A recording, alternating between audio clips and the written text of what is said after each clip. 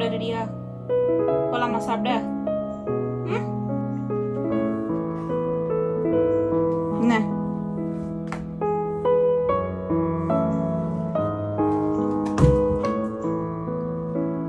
Sabda dari dia. Hmm? Kelama Bah.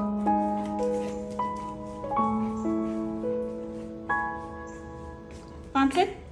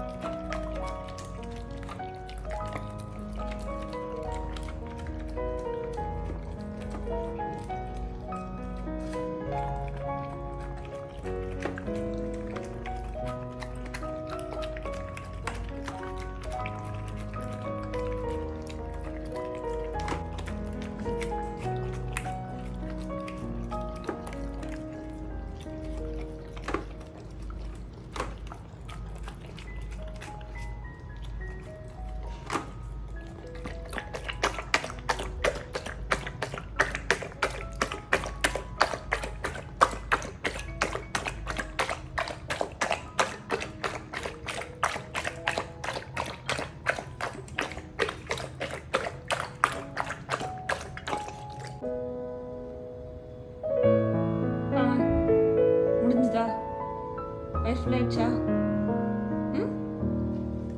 நல்லா இருந்ததா சாப்பாடு?